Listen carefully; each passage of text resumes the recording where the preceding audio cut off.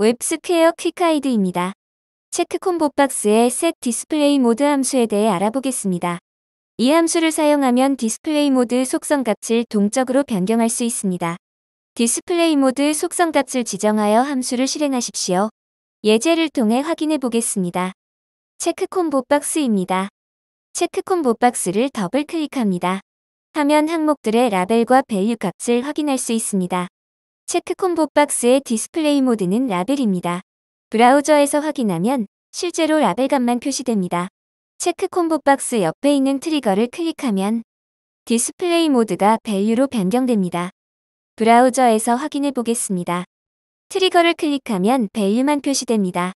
선택한 항목 및 목록 모두 value 값만 표시됩니다.